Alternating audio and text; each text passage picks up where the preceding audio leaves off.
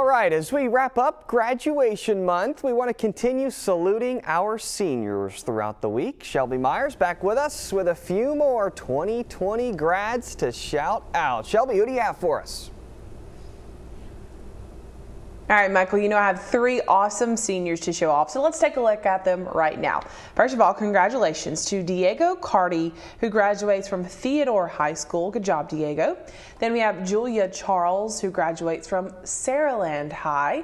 And last but not least, Jallyn Childress graduates from Gulf Shores High School. Congratulations to all three of you and to the entire class of 2020 on making it to your graduation. We wish you all the best in the future, whatever you choose to do with your life. And if you have sent in a senior to us, I'm going to have about three more coming up for you in this newscast right now. So stay tuned, and your senior just might be next.